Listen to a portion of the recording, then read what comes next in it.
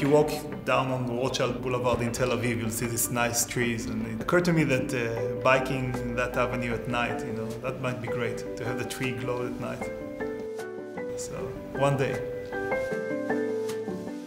Biology is the most advanced technology on Earth and the most complicated. So I want to build this, uh, this tool so to, to democratize creation, to enable people to solve real big problems we have in the world using biology. People think that cell phones are high tech, but cell phone can't eat and reproduce, and the smallest bacteria can. I want to load the entire genome like I load a Word file and modify it and change it. And in computers you can do that. It's really amazing to get your idea, put that idea into a computer, and then into life, and have something alive that you can hold in your hand and glows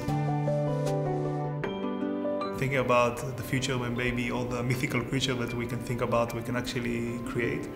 I promised my wife a Pegasus one day. I don't know how to do it now, but maybe in 30 years. a small one, not a big one. I think people overestimate the risk and don't understand the value. I think the world will be prettier, more interesting, more exciting with Pegasuses and uh, glowing plants, you know, and, and that's just uh, the tip of the iceberg. This technology will enable to create even more diversity than ever before.